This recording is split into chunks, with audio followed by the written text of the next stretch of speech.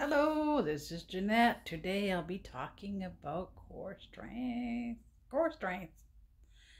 I hear a lot about core strength. Here we go. Just bring up my Facebook. I think I'm recording. Yes.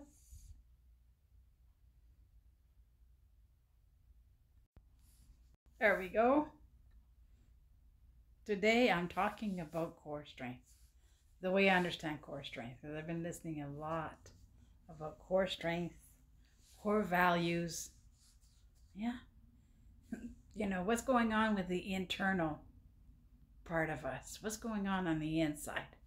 Because, you know, a lot of stuff that's going on on the outside sometimes, or the ex- most times, are the external factors, as I've been listening to these very, very uh, important and valuable programming, which is different than a healthy programming on perceptions and how we view life, right? If I were all angry all the time and I'm trying to figure out, well, this, this, this, and this happened, and so and so, and blah, blah, blah, and it's all them, right? We're looking at the external factors. It's okay to do that. However, it's okay to also acknowledge ourselves as valuable people that we are. Our core values, right? The internal, what's going on in the inside. Because if we're letting all the outside factors get to us to the point where we don't know which way is up, which way is down, you know, doom and gloom kind of thinking, right? That's a kind of a toxic thing to do, right? It's not a healthy thing to do. So, how do we come back to take a nice inhale and an exhale? So, it's just Ginette with my healthy connection talk today, right? Gigi's self esteem journal. So, I listened to a really good program about again connecting to that core value. What is that thing that we want to be strong in, but we really don't think we have the ability or question our own ability, whether it's a struggle, whether the way we view life is a perception, and you know, because we're all responsible for our walk of faith, right? Some of us get stumbled, or get stuck in the walk of shame, walk of blame, right? When we acknowledge, oh yeah, right? Again, that has to do with the ego. Recognize what is from the ego and say, Lord, I give it all to you, right? I surrender all. so here we go. Trust is a value. I just came up with this little quote today. Trust is a value. Truth is a value. Tenacity is a value. Teaching is a value. And for people who teach, we know always learning, right? We're learning something new. Sometimes we feel like we are we we win and we've arrived, and then we go to the place where we're still in a place of learning, right? Because we don't all believe the same way and hear things the same way and perceive things the same way or see things the same way or smell things the same way or taste things the same way or even our sense of touch, right? I was meant. Uh, yeah, I just need to mention that about 20 years ago, back in 20, uh, hmm, Hmm, not even 20, 2001, I believe it was, in summertime, I went right outside. And one day I decided to write a poetry, a poem about the five senses. And if, you know, when we question whether God is there, well, He's been helping us with our sight He's been helping us with our hearing. He's been helping us with our smelling. He's been helping us with our taste, even our taste buds. And he also helps us with touch, right? Touch is about. Uh... Anyways, here we go. Truth is a value. All about the values of life, right? Truth is a value. Trust is a value. Tenacity is a value, teaching is a value, and of course, ongoing learning is a value too.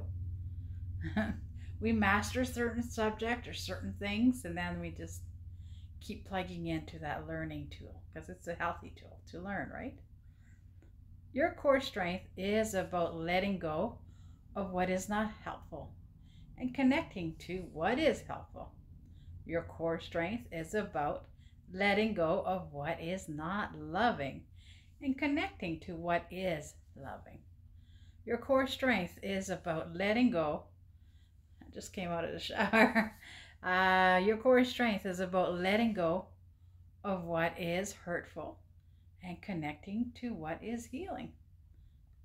Your core strength is about letting go of what is is the external pressure, uh, letting go of the external pressures and connecting to what your internal values, right?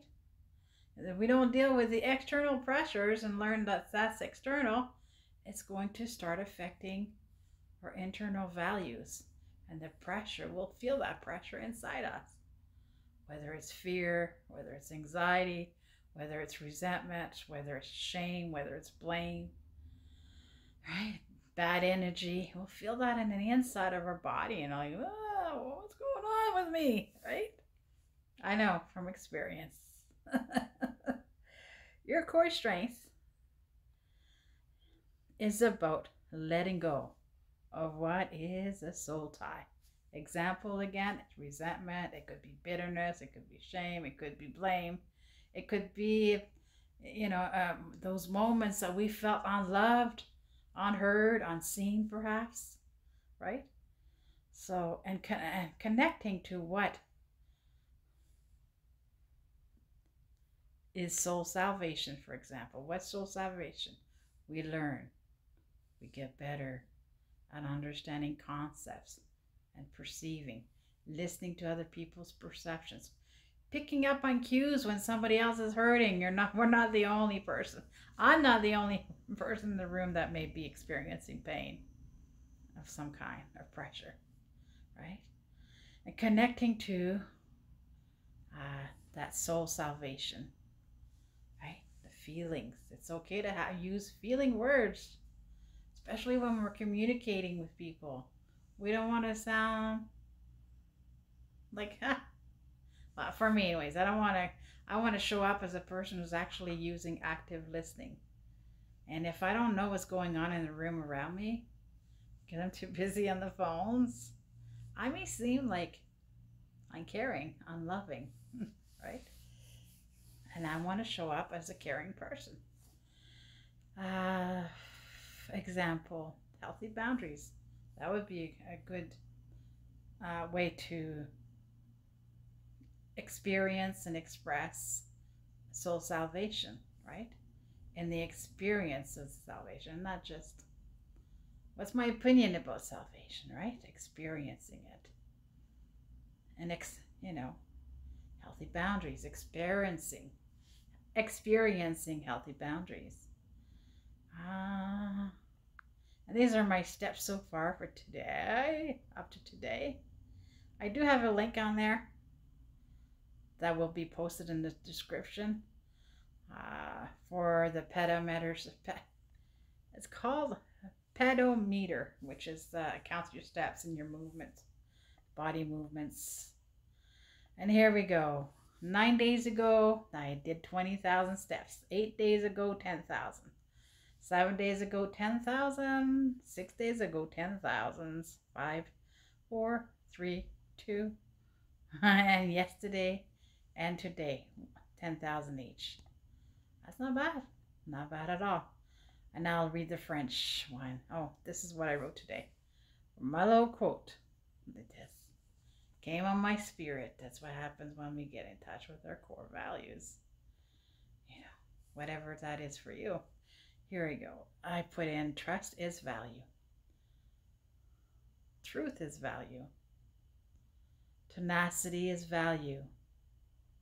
Teaching is value. And all right, for teaching, we learn first and then we teach, right? Doesn't mean we tell other people what to do. What it is, and we teach ourselves. Oh yeah. I'm okay, kind of thing. All right, the French version. La confiance est un, une valeur. La vérité est une valeur.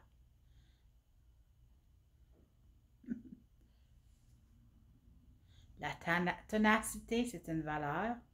Et l'enseignement est une valeur. Le journal quotidien de l'estime de soi de Gigi. Ginette. J'ai dit Gigi, c'est Ginette aussi. ah. La confiance est une valeur. La confiance en soi, c'est une valeur. Puisqu'on a confiance en nous, on peut savoir qui qu'on peut avoir confiance en. Euh, la vérité est une valeur. La ténacité est une valeur. Et l'enseignement est une valeur. Votre principale force, ça veut dire votre énergie, votre bonne énergie, on va dire ça à la place principale, je ne suis pas, pas habituée d'utiliser la, la translation, je veux dire, votre énergie, votre bonne énergie réside dans votre capacité à abandonner ce qui n'est pas utile et vous connecter ce qui est utile. Hmm? Votre bonne énergie réside dans votre capacité à abandonner ce qui n'est pas aimant ou aimante et vous connecter à ce qui est aimant et aimante. Loving.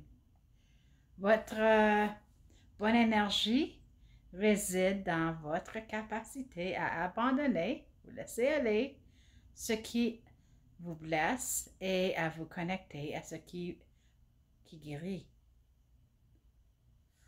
Votre bonne énergie réside dans votre capacité à abandonner ou laisser aller les pressions externes et à vous connecter à votre valeur interne. Votre bonne énergie est de laisser aller ce qui est le lien avec l'âme. Le ressentiment, comme exemple, comme un, lien avec l'âme. Le lien avec l'âme, c'est un soul tie en, anglais. Hein? Cela, on dit le ressentiment de votre connecté. De, ce serait un exemple, le ressentiment, et de vous connecter à ce qui est le salut de l'âme, le réveillement de l'âme, le réveillement de la conscience, le réveillement de la... Oh, je suis réveillée. Je l'ai attendu cette histoire-là avant, mais là, je la comprends. Tu sais? Euh...